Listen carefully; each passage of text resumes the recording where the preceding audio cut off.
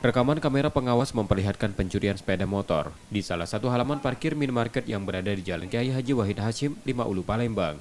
Motor yang terparkir tanpa pengawasan itu dengan cepat mudah dibawa kabur pelaku pencurian. Korban yang sedang berbelanja di dalam minimarket baru mengetahui motornya raib saat keluar minimarket. Peristiwa itu pun dilaporkan korban ke Polrestabes Palembang dengan membawa bukti rekaman kamera pengawas. Kali kami menerima laporan dari masyarakat uh, terkait ada curanmor yang sempat terkor, uh, terekam di CCTV dari rumah korban.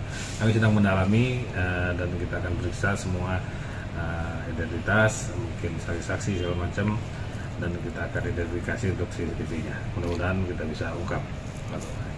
Himbauan kami jelas uh, untuk uh, terkait kendaraan bermotor khususnya R2 ya agar lebih atau ditambah uh, pengaman uh, kuncinya uh, sehingga pada saat memarkirkan di tempat-tempat ya mungkin kerumunan tempat-tempat publik area-area publik sudah uh, menggunakan kunci yang ganda istilahnya. Jangan hanya beran, mengandalkan kunci yang memang bawaan pabrik motor.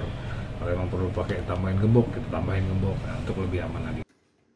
Kasus pencurian motor tersebut kini dalam penanganan polisi dari Polrestabes Palembang. Yudi Kiswanto, Kompas TV, Palembang, Sumatera Selatan.